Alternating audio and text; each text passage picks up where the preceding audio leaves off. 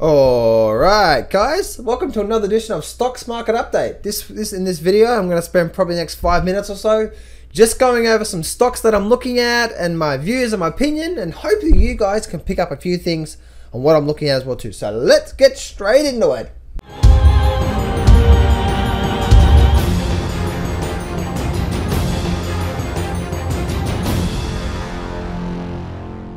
Do not place a trade based on what you're seeing in this video today because trading is risky and it can cause substantial financial loss. There are so many areas you need to become good at to become a good trader. Emotional mastery, chart reading, trading systems, money and trade management. So this video is just educational only to help you become a much better trader. Alrighty then, I'm having so much fun with these videos. Alright, so let's actually, I'm just finished doing a silver chart. That's why SLV is up there. Let's bring up Apple, shall we? Do do do. W A P L Apple. So let's bring up Apple first. Oh, so Apple. This is a weekly chart with Apple, guys. Let me actually let me actually take that off the screen. Let me actually bring this one up here. Bam, like that, because this is a much. It's a candlestick chart, and it gives you much more quick. It gives you much more. Um, better view of what's actually going on here. So as you can see guys with Apple, Apple overall guys is still continuing to head down and this is really important to understand let me actually bring up here. This is important to understand. You can see Apple is continuing to head down. You can, you can see that you can see these these areas of resistance major over now remember guys this is a weekly chart and plus you can also see this major low major major lower trough and now we formed this lower peak as well too. And you can see this reversal bar and we're starting to head down already. So to me guys looks like this area through here was indeed an area of resistance and we're starting to head down. So looks like we looks like we could get looks like to me it's just a start of more downside to come. Apple has been very very very weak and you guys that have been so bullish on this market on this economy apple has been going down since june of last year it's just been head down and heading down and heading down, head down. It went from highs 135 down to 90. Ouch! I would hate I would hate that I would hate to have owned that. Now I've bought some put options in the past and I've made some good money on that one just by following exactly what I just told you. So that's what we, that's what we see through there. Let's actually bring up uh, the daily chart. Daily chart. You can see what's going on through here. We're getting like a just a sort of like a small little sell off through there and you can see that that's what's happening uh, right now. So uh, let's have a look. Let's have a quick look at uh, just Google. Uh, Google right now looks like it's building like a bit of a bear flag. Got this big selling action, sort of three white horsemen or whatever you're going to call that. So I think that Google to me looks like it just wants more downside. One thing that I just wanted to share with you is Amazon. Amazon to me, guys, is looking just absolutely crazy right now. I am in Amazon, and the last couple of weeks I have bought put options on Amazon, and I'm expecting Amazon to fall through the floor. Fall through the floor, floor, fall through the floor. I'm losing it. Um, ah, oh.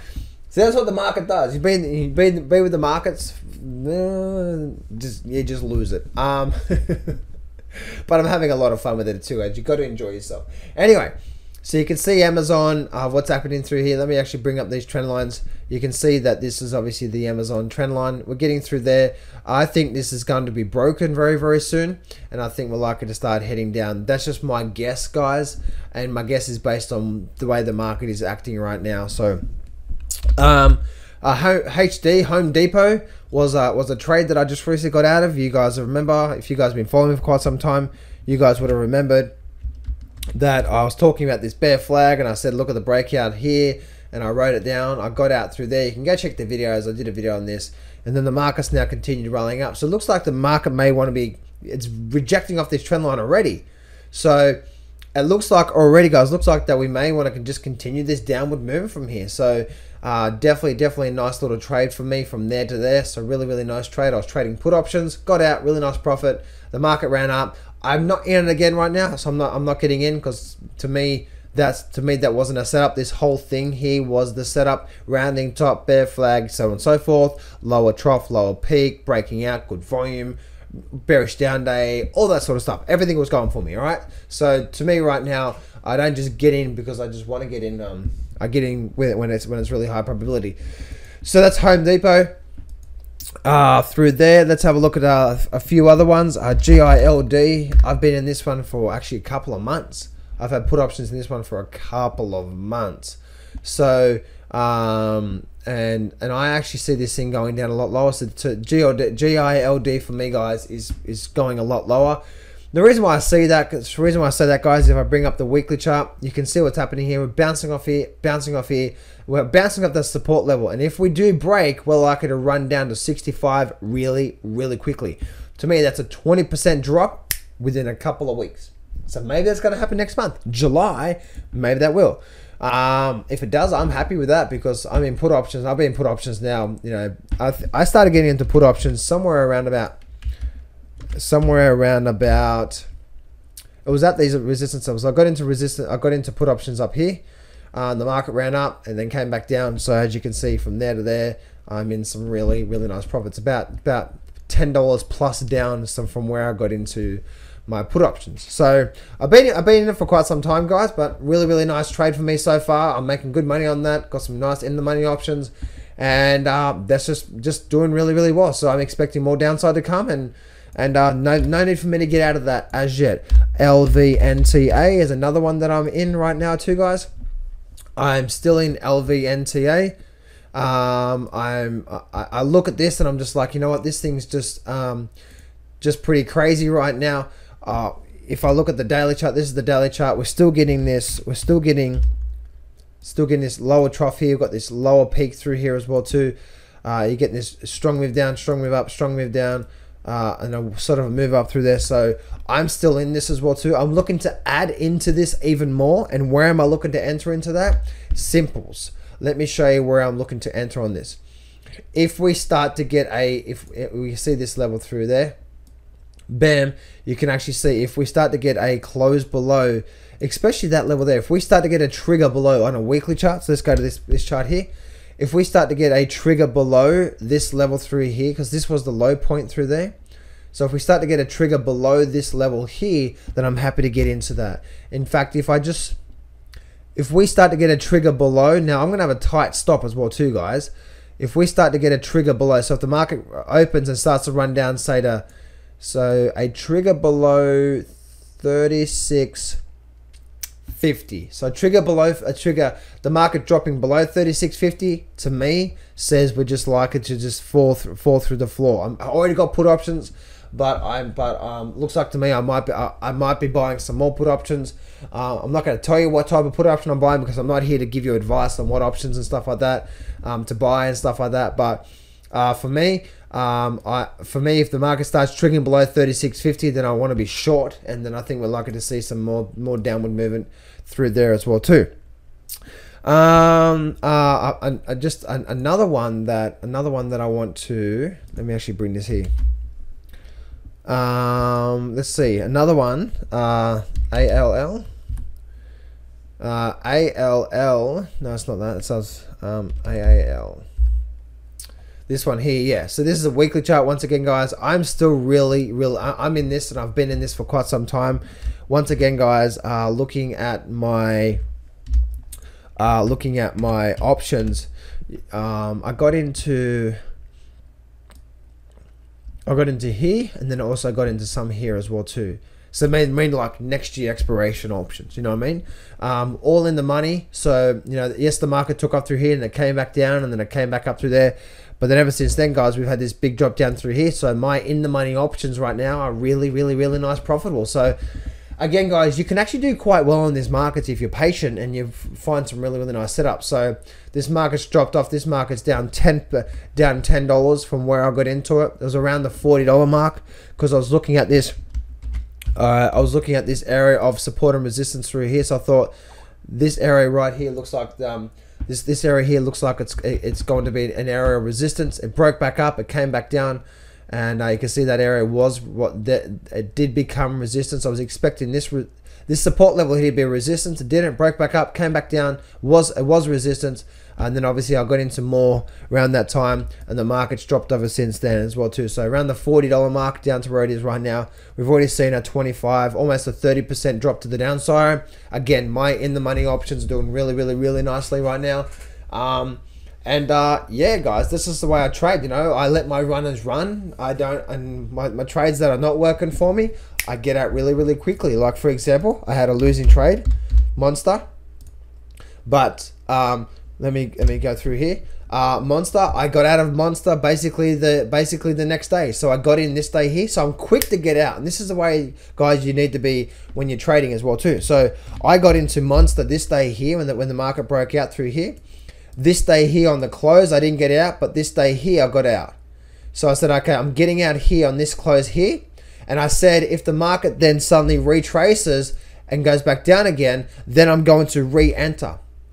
Do you see how I do that? So what what what I did is okay, cool. I'm gonna have a tight stop. I'm gonna have a tight stop, but I'm looking to re. Um, but the market does drop down. Looking to re-enter. See what most people do is that most people that say, you know what, I know it's broken above this high because for me, for me, it was broken above that high. Let me squeeze it up here.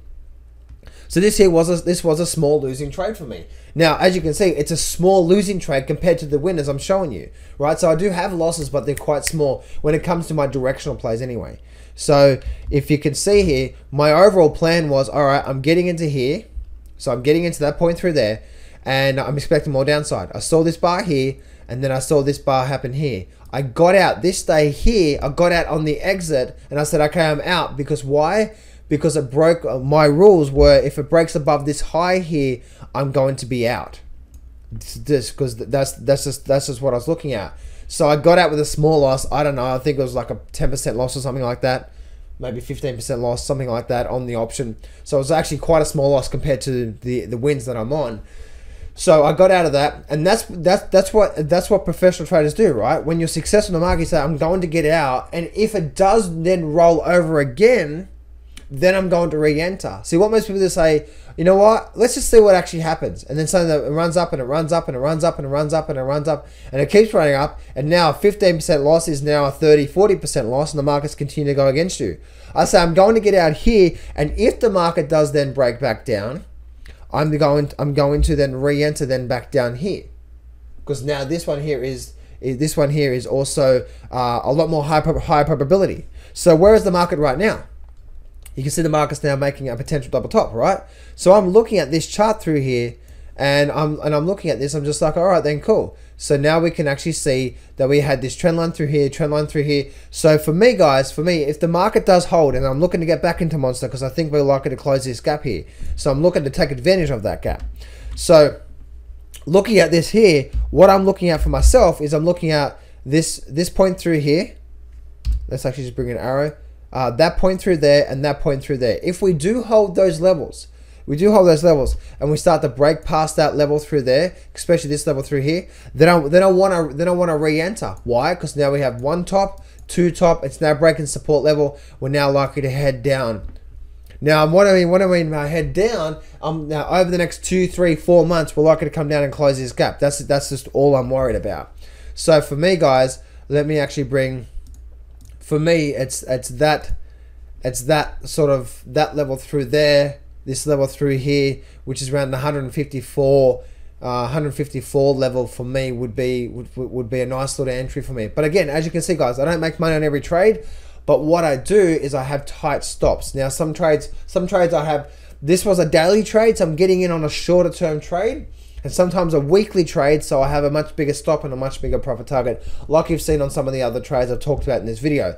Some of the other trades I've talked about in this video, I have I have a much bigger stop and I have a much bigger target. And obviously, if I'm getting in on a daily chart, I have a I'm very very quick to get out. And if the and if it does work for me, then I'm then I'm happy to stay in and get in and and do all that sort of stuff as well oh, excuse me, all that sort of stuff as well too. Makes sense. So, anyway, guys, that's it for me. Um, you know, I could go on and on and on about these markets because I just love trading them. I love, I love, I love being involved with them and stuff like that. I'm just showing you what I'm doing. So, a few things I'm doing. I've got a lot of trades that's working out for me, and I've got some trades that aren't working out for me. And this is one trade that this is one trade that just didn't work out for me, and I had a loss. But you know what? That's just part of the game. I'm not going to BS you here. Trading is hard. Over my 10 years of trading, I've learned some amazing systems and strategies, and I've put it all in my brand new Grab the Markets by the Balls course. And I'm giving you 100% free access. This whole course is 12 videos long and almost 10 hours of the best systems and strategies that I know. Click on the image below now to get 100% free access right now.